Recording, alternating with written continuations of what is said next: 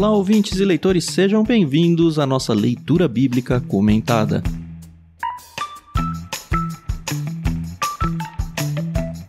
Eu sou o Thiago André Monteiro, arroba vulgutan, estou aqui com a Carol Simão e com o Edu Oliveira e hoje é dia da gente conversar sobre o capítulo 7 de Êxodo.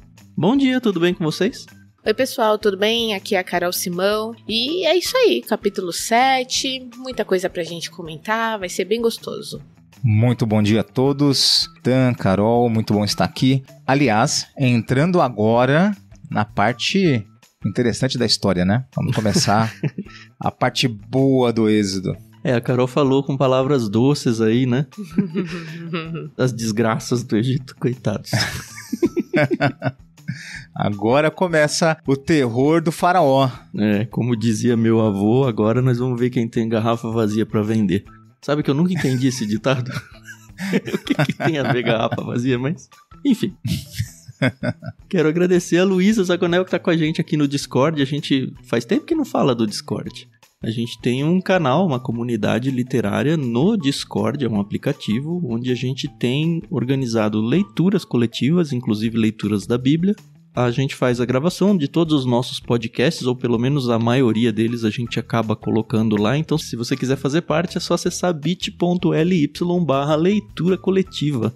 É um espaço totalmente gratuito e o objetivo é justamente a gente poder conversar e trocar ideia e você poder comentar os seus podcasts, as suas audições. É um bom espaço para a gente interagir. Acesse então bit.ly barra leitura coletiva e vem com a gente. Gostaríamos de agradecer a Mundo Cristão por emprestar a NVT para a gente usar no projeto. Agradeço sempre também a Maria Lídia por emprestar a trilha sonora do álbum Inspiração em Três Tons, que é, ela gravou e concedeu os direitos a nós.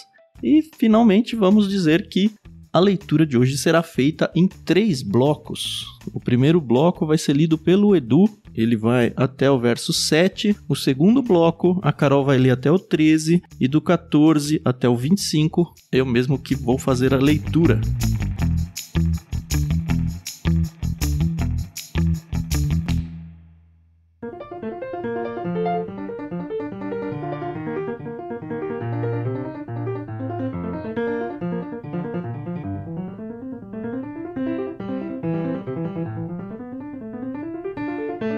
Acho que é a hora de começarmos. Vamos lá, senhor Edu Oliveira. Estamos ansiosos para saber a resposta do senhor, porque a gente deixou isso em pendência no capítulo 6. Exatamente. Vamos lá.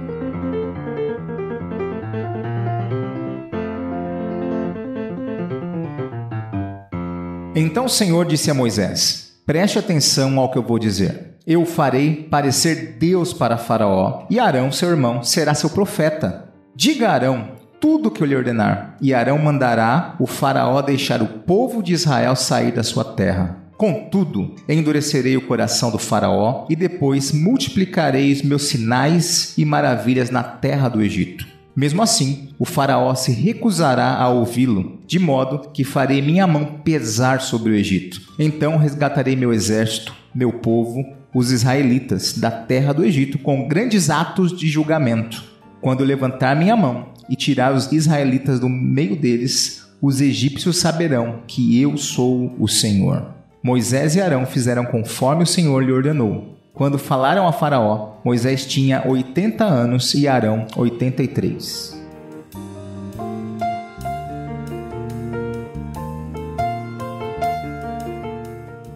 Bom, como eu falei lá, a gente tem a resposta de Deus. Esse capítulo, na verdade, começa quase igual o capítulo 6. Sim. E, inclusive, o 5 terminou quase igual, terminou o capítulo 6. Com as pessoas uhum. falando, ah, eu não consigo falar com o faraó, ai Deus, por que você fez isso? Ah, porque vai dar tudo errado. Bem no estilo Lip, Lion e Hard, Har Har, ó vida, ó azar, ó a dor, esse é pra quem é velho também, né? Sabia que vocês são as duas únicas pessoas que usam esses exemplos na minha vida? Que bom! do bonequinho, é isso que eu quero dizer. Do Lip e do Hard? Do Lip e Hard, uhum. é. O, o, Edu usa muito nas meditações dele é. e o Tan usa muito aqui nas gravações. Agora que vocês estão juntos, eu posso dizer isso. A gente perdeu a referência, né, Edu? A gente fala e ninguém entende. É igual o ditado da garrafa vazia para vender já pra geração de hoje. A gente entrega a idade. Ai, ai. Que isso. Bom, o senhor aqui, ele anima, né? Ah, Ah, Anima. É meio bronca, velho. Presta atenção aí, ô mano. Presta atenção no que eu vou dizer. E de novo, aquela sequência de verbos no futuro, né? Eu farei perecer. Aquele contexto novamente de Arão ser o profeta, só que agora diante de Faraó, né? E o Moisés ser o próprio Deus. Eu acho muito forte essa comparação. Mas enfim, tá na Bíblia, a gente não pode. não pode achar ruim. Como eu falei, eu vejo Deus colocando Moisés numa prateleira diferente e deixar o faraó com uma pulga atrás da orelha. Por que, que ele não vem falar direto comigo? O que que tá acontecendo? Ele é tão importante assim Mas será que é por causa do faraó isso? Pra rebaixar faraó mesmo. Assim, como assim? O cara vem falar comigo e ele não quer falar comigo?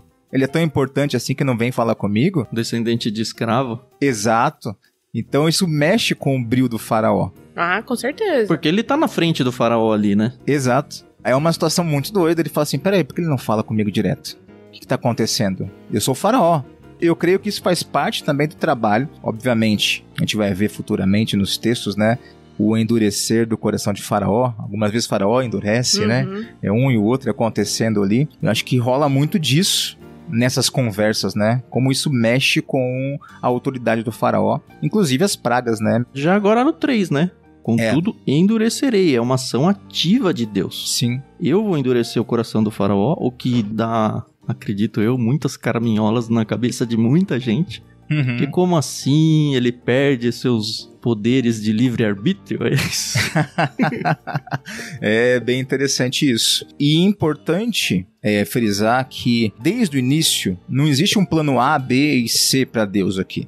E muitas vezes as pessoas falam: ah, se Faraó deixar, vai tudo bem, te sai. Não, desde o começo o plano de Deus é óbvio de tirar o povo, de endurecer o coração de Faraó e mostrar seu poder sobre o Egito. Uhum. né? Então esse é o plano, não tem um plano B. Aliás, não existe isso com Deus, né? Acho que, acho que é algo que é, tem que ser muito claro no nosso entendimento bíblico, né? Não existe plano B para Deus.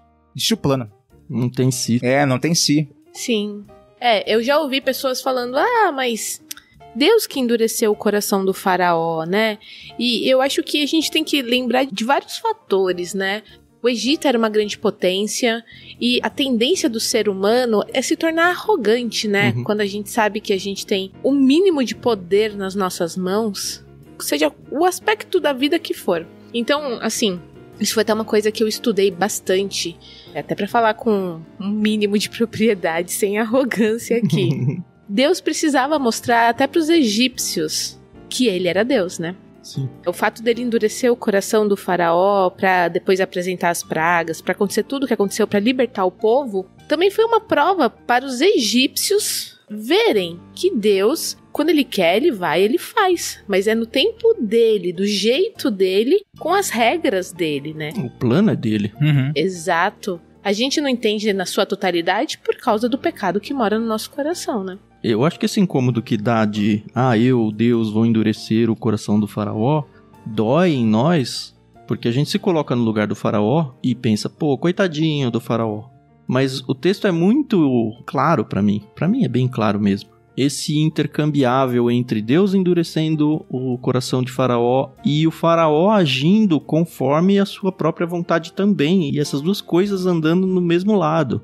Então não é que, puxa, como o Faraó queria deixar e Deus não tá deixando. Eu acredito que é um paralelo bem interessante quando a gente conversa sobre a questão da eleição. A gente já falou um pouquinho quando a gente leu Efésios, essa questão de que é Deus que nos convence de tudo, né? É Deus que abre os nossos olhos para entender quem é Cristo e aceitá-lo como Senhor e Salvador e tudo. Mas essa ação vem a partir de Deus, primeiro, pelo menos. Uhum. E aí depois a gente responde com a vontade de acordo com o que já foi a vontade de Deus. Eu entendo esse texto meio que por aí. E fica também claro que Deus tem um plano de bloquear essa permissão de Faraó, e no 3 fica mais claro ainda, né? Porque ele tem como objetivo multiplicar os sinais e maravilhas na terra do Egito. Ele quer mandar as pragas porque ele é sádico, porque ele gosta de destruir pessoas? Não. porque é importante que todos, não só o pessoal do Egito, mas os povos de Canaã, por exemplo, da Terra Prometida, vejam quem é Deus. Ó, esse povo que tá vindo aqui vem com um selo de Deus. E Deus é esse cara que vai fazer esse negócio aqui. Ele precisa mostrar para a humanidade da época, para todos os povos das regiões ali, quem é Deus. E ele escolheu fazer assim. Uhum. No capítulo 6, tem uma inferência interessante que ele fala: Farei o povo de Israel saber que eu sou Deus.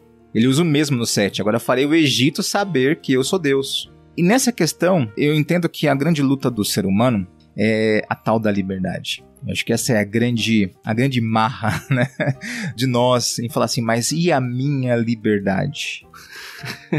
e aí que entra essa questão de entender o Deus como Senhor da história, né? Não alguém que criou e deixou o mundo a Deus dará. Ele é Senhor da história e é Deus presente.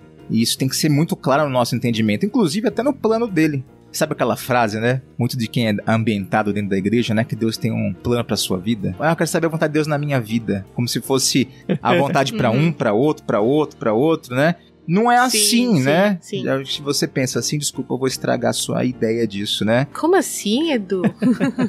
Existe a vontade de Deus. Ponto. É. E é nós que precisamos aprender a nos enquadrar, nos encaixar ou a pegar a rabeira, né? da vontade dele. Quem é também dos anos 80 vai lembrar disso aí, né? Molecada que pegava, vinha de bicicleta, pegava a rabeira nos caminhões. Não façam isso, gente. Você, Não façam adolescente isso, de hoje em gente. dia, criança, não faça isso. Não siga os maus exemplos da minha geração, do Tan aí, que pegava a Eu não rabeira. peguei, eu não peguei. Eu não pegou isso? Como assim? Pegava rabeira no ônibus. Eu era muito medroso, muito medroso, mas muitos colegas fizeram isso, com certeza. Então, existe a vontade de Deus. E a Bíblia delineia isso muito claramente, né? Da vontade dele e somos nós que nos adequamos a ela. Então, textos assim Uhum. explicitam isso. É. Um Deus da história que tem sua vontade.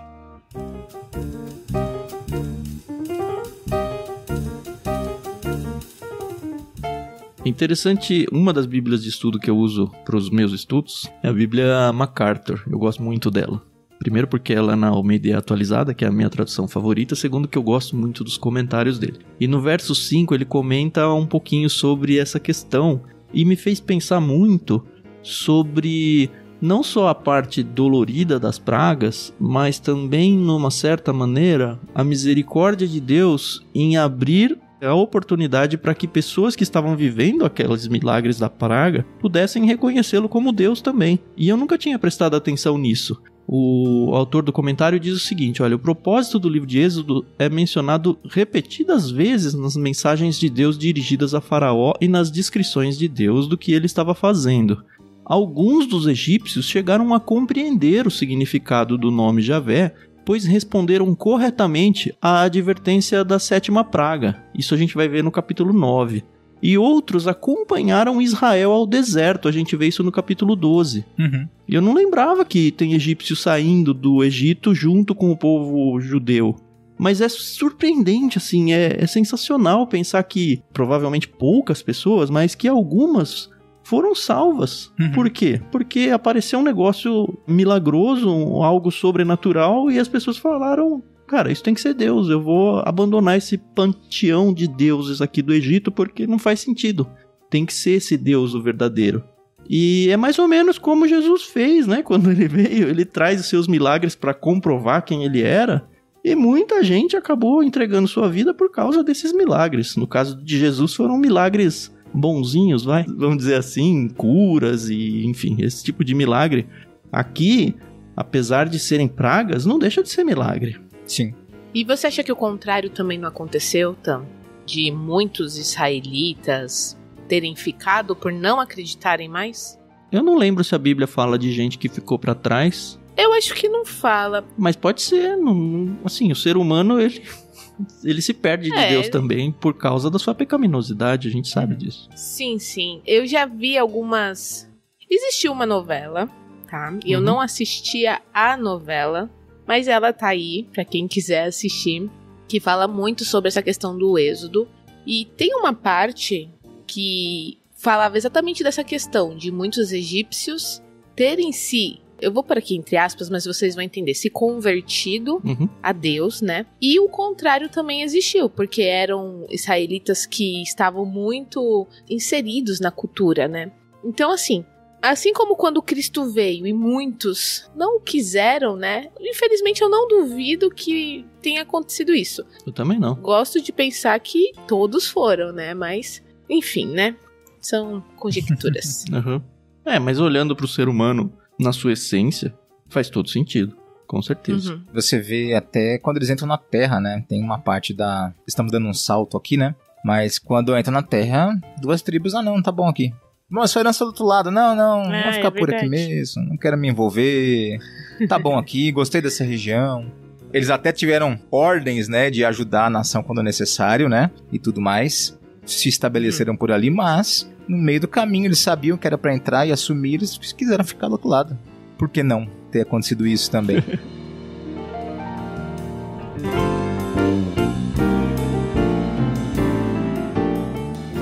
que nesse verso 4, quando ele fala, então resgatarei meu exército, e aí é meu povo, os israelitas, ele tá pensando em exército num conceito de muita gente ou exército de batalha mesmo? Porque eles não vão batalhar, quem tá batalhando claramente é Deus. Tanto que no 5 ele fala: olha, eu vou tirar os israelitas do meio dos egípcios e todos saberão que eu sou o Senhor. Então é uma batalha muito claramente de Deus lutando, não dos israelitas. No entanto, apareceu esse exército na palavra aqui. Eu tô levantando, mas eu não tenho respostas pra isso. É, eu creio como povo mesmo, até porque 400 anos de escravidão, o povo não tinha nem preparo militar. Eram só É, trabalhadores. tem isso. É só muita gente, é um exército de É, só muita gente, é, de pessoas. pessoas. Inclusive, quando eles entram na Terra, eles ainda não estavam preparados. Imagina, 40 anos no deserto vagando. E quando você falou, inclusive, agora há pouco sobre fazer as nações conhecerem Deus, imagina só, tiraram eles do Egito, ficaram 40 anos vagando no deserto e o povo de Canaã vendo. Ouvindo as histórias. Tá chegando, tá chegando. Eles estão dando volta por quê? O que, que tá acontecendo? E o povo tava com medo, tanto que quando eles chegam ali, o povo tá, e aí? E agora? O que, que vai acontecer? Uhum. Não, a gente percebe lá com a. É a Raab, a prostituta. Sim. Ela fala: tá todo mundo morrendo de medo. Quando os espias vão lá conversar com ela, tá todo mundo morrendo de Exato. medo. Vamos fazer um pacto aqui pra vocês salvarem pelo menos a minha família. Mas todo mundo sabe que já era. Por quê? Porque vocês são Exato. fortes, porque vocês são treinados, porque vocês são o exército de Esparta. Não, porque a gente viu o que Deus fez ali, vocês não são ninguém. Mas parece que Deus não tá muito preocupado com isso, não. Ele que tá lutando. E se ele fizer a mesma coisa que ele fez no Egito, nós estamos na roça. Já era. É. E ele faz. Foi exatamente. E a primeira batalha deles, eles não pegam em armas. A princípio, né? É. Aí Eles só vão rodear, vão rodear a cidade, mas eles não pegam armas até entrar. A gente vai ver que o Josué lá na frente, ele vai se preparar como um líder guerreiro. Moisés é um velho. Como que ele vai ser um líder guerreiro? Quando tem a batalha aqui mais pra adiante, qual é a participação do Moisés? Ficar com a mão estendida. Os braços abertos e nem isso ele consegue. Ele precisa de ajuda é, de um de de cada lado segurando o braço dele. Coitado. Yeah. No hebraico, você falou do militar aí, é sabá. Então são hostes. Serviço militar, tropas, hostes. É muita gente. Então, muita gente. Em marcha, imagina indo pelo deserto, né? Em marcha, tem que fazer uma ordem marcial ali pra fazer a- uma boa caminhada. Sim. Nossa. Da hora, da hora.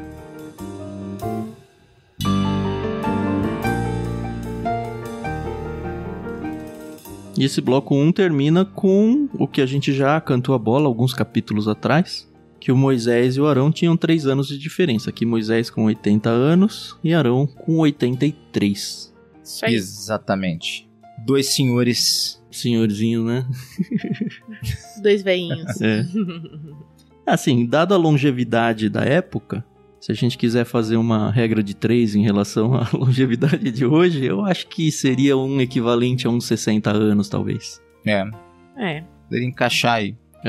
Um homem com 60 anos ainda tem vigor, né? Força. Eu vejo pelo meu pai, que atualmente está com 62. Olha. Não dá pra fazer mais já muita coisa. Ele quer, mas. O Moisés ficou 40 anos no deserto liderando e caminhando lá. Ele consegue liderar por uns 30? Eu espero que sim. Fora que, assim, eu entendo que é uma boa idade pra liderar. Porque já já passou muita coisa, experiência. Sim, já tem. É, Então, exatamente. O vigor físico não é mais o importante, não é mais o preponderante, mas a questão da maturidade, o entendimento, o respeito.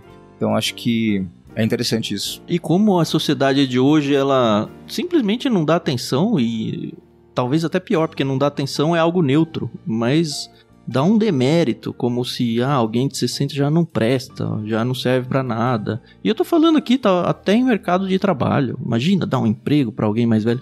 Eu tenho conversado com alguns amigos do meu primeiro emprego que trabalharam e trabalham ainda, né, no mercado financeiro.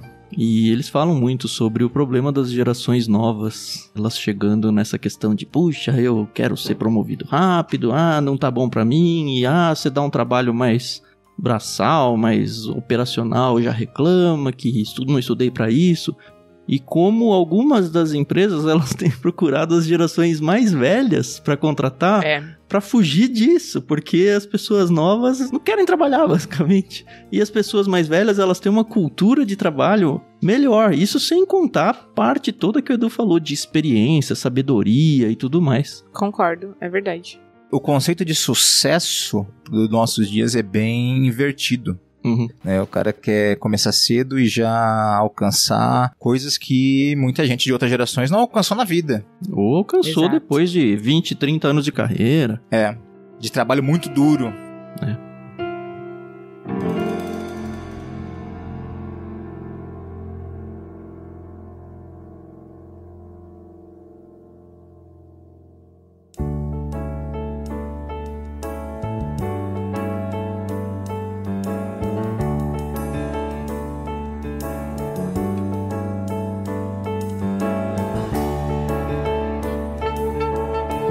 Legal, acho que dá pra gente entrar no bloco 2. A gente vai agora do verso 8 até o verso 13 e a leitura vai ser feita pela Carol. Tá certo, vamos lá. Então, do verso 8 ao 13.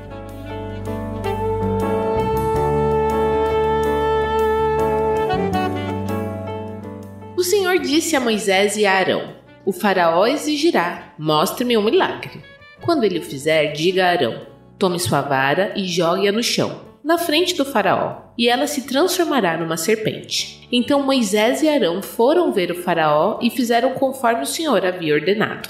Arão jogou a vara no chão diante do Faraó e de seus oficiais, e ela se transformou numa serpente. O Faraó mandou chamar seus sábios e feiticeiros, e por meio de suas artes mágicas, esses magos egípcios fizeram a mesma coisa. Jogaram suas varas no chão, e elas também se transformaram em serpentes. Mas a vara de Arão engoliu as varas dos magos. O coração do Faraó, porém, permaneceu endurecido. Ele continuou se recusando a ouvir exatamente como o Senhor tinha dito.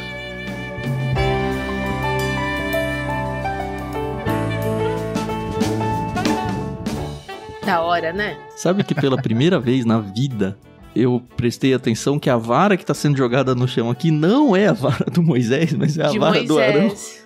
Exatamente. Eu sempre pensei que era de Moisés, porque, enfim, quem tinha transformado em cobra foi a do Moisés lá na sarça ardente. E agora é a vara do Arão. É. E é digno de nota entender que não é o poder de Moisés, é o poder de Deus que pode efetuar na mão de qualquer um. Uhum. Então isso fica muito claro aqui. Mas e, esse negócio aí dos encantadores, dos magos aqui, replicarem É tenso, né? o mesmo feito? Não, eu acho estranhíssimo. Isso nunca explicou, né? Cadê Mr. M nessas horas? É, então. Porque tem correntes diferentes pra explicar, né? Tem alguns que falam que foi, olha, poder demoníaco aí sendo usado pra rivalizar com o de Deus, né? Pra mostrar igual. Ou que eles eram, porque assim, mas os caras tinham esse poder, ou eles eram, como o texto, alguns textos usam, né? Ilusionistas. Vamos fazer uma ilusão Hum. aqui, jogar uma fumaça, fazer um. E engana todo mundo. Aí eu coloco como ação demoníaca. Mas não tem argumentos bíblicos. A realidade é que a Não Bíblia tem. não tá nem aí pra explicar isso daí. Ela falou, ó, eles fizeram. Tá pouco preocupada com isso. É, daqui a pouco a gente vai ler a parte do sangue, eles vão fazer de novo. Sim. E aí chega uma hora que eles não fazem mais. Acho que tem mais uma praga que eles ainda repetem. Mas na quarta já eles não conseguem, o que mostra o poder de Deus, mas vamos guardar porque isso aí é algo pra gente analisar mais à frente. Mas o fato é que Moisés aqui só narra. Ele não explica nada. E pra mim é muito, muito estranho, de verdade. Até porque o texto que a gente leu aí, que a Carol acabou de ler, Deus já revela pro Moisés e Arão, ó, o faraó vai exigir me mostre um milagre para comprovar. Então, dado que foi uma exigência do faraó, quando os seus asseclas aí, os seus servos fazem a mesma coisa, os seus magos fazem a mesma coisa, meio que desqualifica grande milagre esse aí que você fez. Eu também faço. Mas Os meus magos aqui, acho que esses magos sábios, feiticeiros, o nome que quiser dar aí, eles devem estar muito ligados à parte religiosa do Egito também. Assim como Moisés e Arão estão se colocando diante do faraó como representantes do Deus verdadeiro, o faraó chama os representantes dos deuses dele. E é, é isso aí. Mas o que eu acho interessante é o seguinte, se a gente parar pra pensar. Arão talvez nem sabia o que ia acontecer ali, porque quem fala pra ele é Moisés. E Moisés fala, joga aí sua vara. Beleza, se transformou numa cobra. Nem fala aqui a raça, né, a espécie do réptil, né? Então eu nem vou fazer nenhum tipo de suposição aqui. Mas beleza, tá lá. Aí Faraó vem danadinho e traz os seus magos tal. E seja por espíritos malignos, ilusionismo, conseguem também criar lá as serpentes, né? Ainda na dependência de Deus, Arão, sem saber o que ia acontecer, e possivelmente Moisés também não, vem a cobra, a serpente, um pedaço de pau, gente, comer as outras serpentes. E aí eu fico pensando, né? Como será que esses magos eles reagiram? Porque não tinha o que fazer pra rebater isso, né? Então, E eles perderam o cajado deles. Será que não eram cajados especiais? Se é, é. Ficaram sem pode nada. ser. Ou os pets de estimação. É. Varinha de condão igual do Harry Potter, né? Quem é a turma do Harry Potter aí perdeu a varinha de Sim. condão deles. Mas, ó, aí, ó, eu não ia falar sobre isso. Eu falei, não vou polemizar, Carol, que deu a letra, tá? E- Não fui Não, eu. você tá aqui pra isso, Du. Vai. Porque a palavra serpente aqui, Uhum. na tradução no hebraico, não é serpente. Ixi, agora a pastora já vem Hum. com outra. É o quê? Não, eu li isso em vários lugares. Eu acho bem legal a gente trazer isso. É Tanim. A Septuaginta coloca como dragão. Ou monstro marinho. Será que era um dragão de Komodo? Meu filho ia amar, né? Meu filho gosta muito de dinossauro. E ele, tudo que ele Sim. vê, ele é um dragão de Komodo. É um dragão de Komodo. Inclusive diz que é uma palavra diferente da serpente lá da sarça ardente. Lá era serpente. Exato. Aqui que você Hum. falou, serpente das águas, monstro marinho. E era um símbolo do Egito. Em Isaías, quando falasse do Egito, acho que Isaías 17, ele comenta sobre isso, né? Que o Egito era um monstro marinho. Ah, é verdade. É. E aqui parece que é uma alusão muito forte ao o Egito aqui, em sua imponência. Sim, ele fala, então tá bom. Sim. Deixa eu tragar a imponência do Egito. É, não, faz todo sentido, realmente. Inclusive, nada a ver, mas já que tocou no assunto, dragão de Komodo, eu tava assistindo um, um vídeo nas redes sociais. Um dragão, sei lá quanto mede, mas, bom, não é um tamanho de um jacaré, é um crocodilo, ele é bem menor. Mas não é pequenininho como um calanguinho, né? De jeito nenhum. E ele engoliu um cervo inteiro, gente, numa bocanhada só. Eu fiquei assim horrorizada. Porque eu estava assistindo isso, o Twitter me. É, eu acho que esse monstro tinha meio que um formato de uma serpente, até porque, enfim, veio de um cajado. Aham. Mas não dá pra saber. Agora, Sim, sim. o fato da palavra não ser serpente é sensacional da gente descobrir. É muito Sim. legal. Tá vendo? Eu não ia entrar nesse assunto. Carol que entrou. Eu falei, não, acho que não precisa entrar nisso aí. Deixa. Mas é Não, bom. é legal, é É legal. bom, é da hora. Será que tem alguma tradução que põe monstro aqui? Não sei. Eu Ó, não achei. Não sei. Em Êxodo 4, Narras, serpente. Né, o termo serpente aqui. E aí é Tanim. Hum, São nomes bem diferentes mesmo. é, Nahas, é? Deve ser daí que veio a Naja. Pode ser. Hum. Imagina. Pode ser. é? LBC também é cultura. Tá vendo que legal?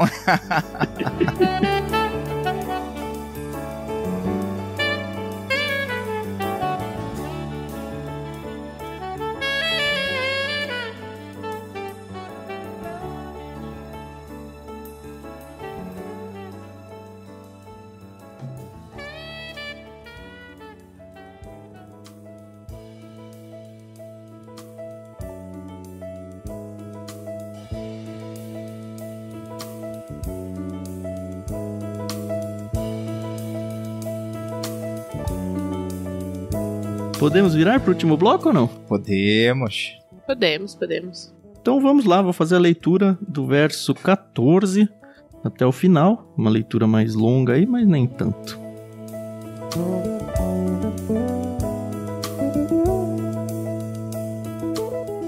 O Senhor disse a Moisés: O coração do Faraó é duro e ele continua se recusando a deixar o povo sair. Portanto, vá ao Faraó pela manhã, quando ele estiver descendo até o rio.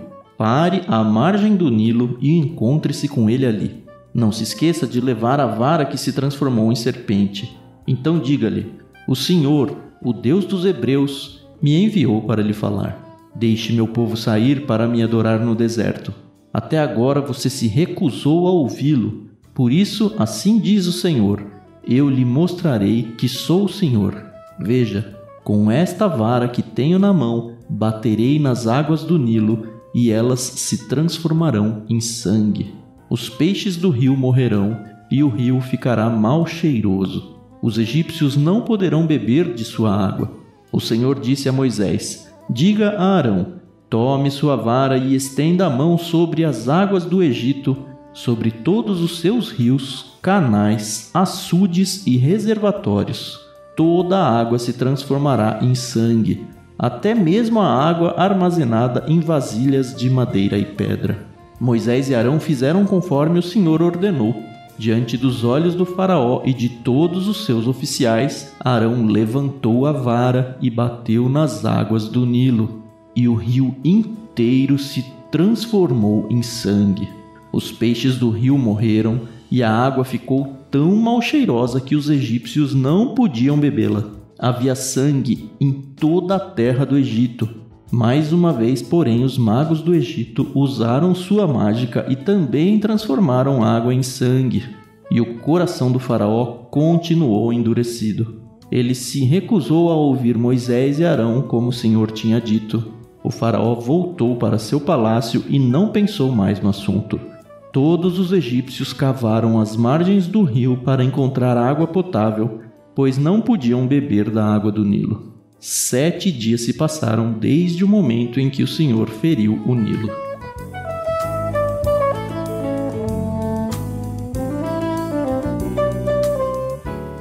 Antes da gente entrar no estudo, eu quero fazer uma indicação aqui. Eu não sou fã de filmes de terror. Mais uma vez, enquanto eu era adolescente, uma amiga minha quis alugar na locadora, tá? Então, se você não sabe o que é isso, dá uma pesquisada. não existiam streamings na época, a gente tinha que ir até um local pegar o, o filme físico. E a gente assistiu um filme chamado A Colheita do Mal. É um filme de terror, tá? Eu não indico filmes de terror, mas a sinopse desse filme é muito interessante. É com aquela atriz Hilary Swank, Uhum. que fez a Menina de Ouro.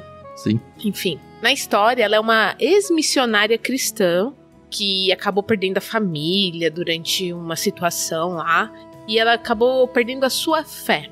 E aí ela se tornou especialista em provar que as dez pragas do Egito eram resultado de situações da natureza. Então, é interessante que no filme ela explica porque as águas ficaram vermelhas e ela chega a uma conclusão de que era sangue, mas um sangue animal pela morte de não sei o que. Os gafanhotos não sei o. Enfim, ela tem uma explicação científica Uhum. para todas as pragas, inclusive a última.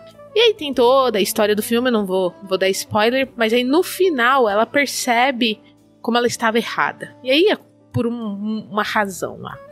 E aí eu fico pensando aqui que os egípcios, novamente, eram uma cultura muito culta, eram estudados, eram talvez o povo que tinha acesso a.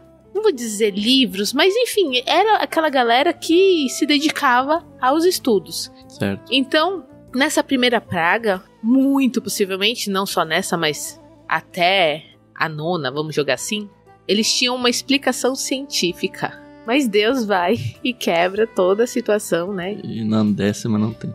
É, não. Olha, eu vou pegar esse gancho que você trouxe aí e, e colocar um alerta, acho que importante. Esses dias eu comecei a ouvir os primeiros episódios lá em Gênesis que a gente gravou. Se não me engano, foi no prefácio ou no capítulo 1 de Gênesis que a gente colocou os nossos pressupostos para o projeto do LBC. E um dos principais é que a gente acreditava nas escrituras como relato da verdade, como, enfim, verdade bíblica, verdade de Deus. Mas me entristece, por exemplo, alguns comentários em Bíblias de estudo muito boas. Eu vou trazer um exemplo aqui, a Bíblia de estudo NVI, que inclusive eu indiquei para uma amiga ontem, que perguntou: "Ah, Bíblias de estudo, eu gosto muito da Bíblia de estudo da NVI" mas eu vejo alguns cristãos muito preocupados em ficar meio que passando pano para a sociedade ou tentando sincronizar o discurso bíblico com um discurso secular. E olha só o que diz o texto da NVI comentando esse trecho, tá? Você vê que ela fica bem em cima do muro, mas ela supõe isso como uma possibilidade. As nove primeiras pragas talvez tenham sido intensificações milagrosas de fatos naturais ocorridos em meio de um ano, surgindo mediante a ordem de Deus no momento por ele determinado. Se for assim, a primeira praga resultou da inundação do Nilo em fins do verão e começo do outono, quando grandes quantidades de sedimentos vermelhos foram trazidos pelas águas descendo da Etiópia, tornando as águas vermelhas como sangue. Ai, quando eu leio isso me dá um aperto no coração. E aí, assim, eu fui em outras bíblias de estudo, se prepara lendo várias coisas, né? Uhum. E eu descobri algumas outras coisas nesses estudos que meio que derrubam esse tipo de argumento. Aliás, o primeiro já está na própria Bíblia, eu nem preciso de um comentarista falando isso. Que é dizendo que, olha, as vasilhas, a água que estavam fora, viraram sangue. Não faz o uhum. menor sentido se foi o sedimento, ó, águas que não estavam ligadas ao rio, viraram sangue. Tem que ser um ato milagroso. Aí teve em outros dois livros que eu pesquisei, mencionando que a palavra que é usada para sangue, a palavra original no hebraico, ela não pode ser traduzida como vermelho. Ela é sangue. Não é como sangue, vermelho como um sangue. Ela é sangue. Claramente só sangue a tradução dessa palavra. Uhum. E aí a gente olha para outras Bíblias de estudo e vê que umas batem, olha, realmente foi sangue. É, é o que é, sabe? É o que está escrito na Bíblia. Então eu tô trazendo isso não pra ó, demérito, não compre essa Bíblia, anátema, nada disso. Mas pra gente se preocupar e saber que o que é texto de Deus é a Bíblia. Qualquer livro, comentário, qualquer outra coisa externa são homens escrevendo com seus pressupostos e que estão tentando lidar com a realidade. E muitas vezes eles vão cometer erros, igual a gente comete erros aqui no LBC. Então Sim. não é porque você, ah, eu tenho uma Bíblia de estudo muito boa, que você vai ler os comentários dessa Bíblia de estudo com o mesmo peso do texto bíblico. Nunca caia nesse erro. Porque vai ter coisa errada, vai ter interpretação de texto errado, vai ter vieses diferentes de cada autor. E vai ter situações onde, para tentar atender um público que não, não acredito na criação em seis dias, não acredito na Terra Jovem, não acredito no dilúvio universal, não acredito nas pragas do Egito, essas Bíblias comentadas, elas tentam meio que ficar passando pano, conciliar as coisas, quando eu acho que não é o papel delas. Pelo menos não deveria ser. O fruto do liberalismo teológico, né? Você vê aí começo do século XX, criou-se muito essa tentativa, né, de colocar a Bíblia ou tentar responder os pressupostos da ciência de forma mais amena. E não, não é o plano de Deus, né? Ele não tem esse interesse. Né? A Bíblia não tem esse interesse mesmo, é muito claro. Essa do vermelho é porque tem o nome de Adão, né? Adão é vermelho, né? Uhum. E a palavra sangue é dam. Né? Você corta o A, é Dan. Uhum. Então eles tentam, ah, não, aqui não foi isso, foi aquilo. Não é sangue mesmo. E, como você falou, o milagre é claro, porque até as botijas de água, os onde eles guardavam. Por isso que eu até fiz uma brincadeira que a gente vai chegar lá na frente ainda sobre a travessia do Mar Vermelho, porque tem um. Pra quem diz que passaram lá no Mar Juncos, né? O milagre é maior. Por isso que eu, eu fiz essa brincadeira. Porque o milagre é maior. Uhum. Se essa é a, a interpretação, eu digo que o milagre é ainda maior. Mas a gente vai chegar lá quando no, no momento certo. Chega lá, guarda, porque senão quando chegar lá não tem argumentos mais. Vou é guardar. Certo. Mas é isso mesmo, é sangue. Tanto que se torna a vida animal no rio inabitável, os peixes morrem, Uhum. O cheiro, imagina só o cheiro, né? Quem é paulista, quem é da nossa cidade aqui, conhece o Rio Tietê. Uhum. E eu creio que hoje, não estou falando que tá melhor não, mas por muito trabalho melhorou um pouquinho, porque eu lembro que nos anos 80 e 90, quando você passava na marginal, Era insuportável. é, ainda mais num dia de calor como está acontecendo essa semana, É no esgoto, a céu aberto. era um cheiro tão forte, tão forte, É tão verdade. intenso, que era, era o cartão postal, infelizmente, de São Paulo, né? Isso mudou. Isso tem Uhum. mudado. Mas ainda é um rio poluído, né? Com aquele cheiro característico. Podre, né? Imagine só o cheiro de sangue num rio, os animais morrendo. Então isso acontece por uma semana no Egito. Não, e tem um agravante. Aqui em São Paulo, a cidade não depende do Pinheiros ou do Tietê para se abastecer, para se irrigar, para as plantações, para os animais, não, simplesmente não depende. Exato. Lá é o Nilo, caramba. O grande e poderoso Nilo é o que faz o Egito ser quem é o Ser Egito. o Egito. Exato. E é o símbolo. E olha como Deus já atinge logo de cara o Nilo, né? Como primeiro sinal ali. A gente vai ver uma progressão, mas o Nilo era o símbolo da vida do Egito. Isso. Então Deus vai lá e se apresenta como: não, não, não é. Não é. Aquele que é doador da vida sou eu. Uhum. O Nilo não tem essa capacidade. E é digo de nota também essa questão do Nilo, né? A gente fala assim, ah, um riozinho. O Nilo é o rio mais extenso do planeta. Até hoje. Até hoje, fomos comparar, gente, a gente que vive no Brasil, a gente fala tanto do nosso, no Amazonas, né? Do rio São Francisco, Solimões, Sim. Uhum. O velho Chico. né? São os maiores em volume no mundo, mas em extensão territorial é o Nilo.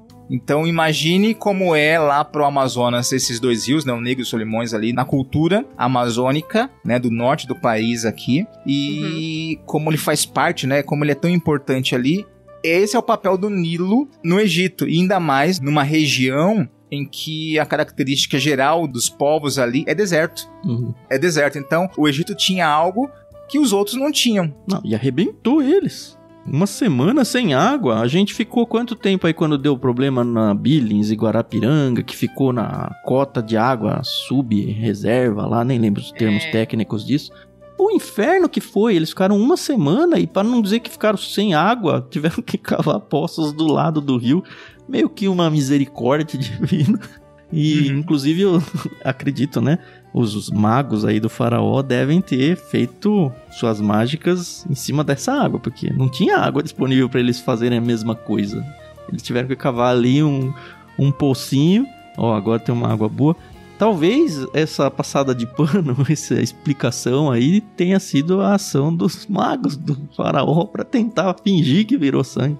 Mas nem isso a Né? Bíblia se preocupa em explicar também. Em O fato é que O mais engraçado nessa situação dos magos é que eles vão, conseguem replicar, de novo, a gente não sabe como, assim, eles replicam, mas eles não revertem, né? Porque se eles fossem tão poderosos, Boa, cara. É isso aí. eles poderiam ter transformado o sangue em água. Ué, Uhum. Sim. né? Ué, como assim? Pois mas é. não, eles apenas replicaram. E aí, sabe-se como.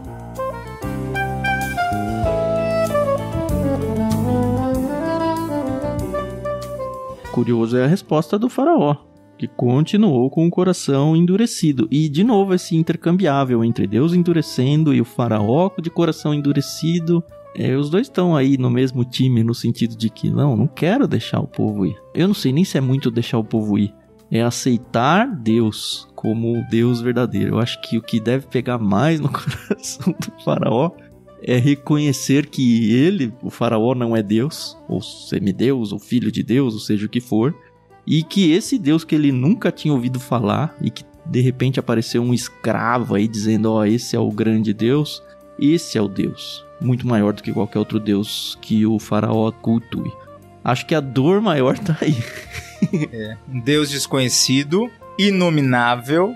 Não sei se vocês entendem essa questão do inominável, né? Porque é mais ou menos assim. É tão profundo isso que até os judeus, inclusive hoje, eles fazem isso, né? eles não citam o nome de Deus. Fala, Opa, Uhum. eu não quero nem entrar nesse assunto. Não vou nem citar, né? O Eterno. Aquele que é e pronto. É o que é. Então, que Deus é esse que ele não conhecia? Que não tem um nome especial, nunca ouvi falar, que simplesmente é. Vindo aqui querendo mandar. E vem aqui e faz o que faz, né? É. E o poder de quem é rico e poderoso, né? O faraó pode chegar no verso 23 e voltar para o seu palácio e não pensar mais no assunto. É. Não é ele que tá ali no dia a dia, ali no, no batente, dependendo da água. Ele simplesmente pode pedir para os seus servos estalar os seus dedos, bater palmas e vão trazer um, um jarra de água. E para ele tanto faz de onde veio. Será que eles foram pedir emprestado água lá pro arraial de Israel? Dos Oh. hebreus? Ô, tem uma aguinha aí, gente, por favor. Ah, o texto não diz aqui que eles foram preservados, mas na frente a gente vai ver outras pragas onde o povo hebreu tá sendo preservado das pragas. Mas acho que Aham. aqui ainda não, né? O que será? Ficamos na dúvida agora, não tem no texto, e aí? Não tem, não tem. é. Não, mas assim, duvido que eles não dependessem do Nilo também. Será que um trechinho do Nilo ficou só água? Os peixinhos ficaram em volta, tipo aquela divisa do negro com solimões, assim, um risco na água, que Um a água é de um risco, é. jeito de um lado e Pode fora Sei. não. Não duvidemos. Mas eh, eu acho que é muita ousadia da nossa parte, imagina, porque a Bíblia não fala isso. Não afirma. É, ah, não gente, fala isso, por tá? favor. É. a gente não defendeu essa tese aqui. Não afirmamos nada aqui, tá? Fica tranquilo. A gente vai falar besteiras em outras horas, mas agora não. Fica assim, ó. Como os judeus estavam na parte norte do Egito, eles foram pro Mediterrâneo. Pronto. Buscar água. Desalinizar integração. a água, né? É. Eles são bons nisso, hein? Inclusive hoje. Especialistas nisso.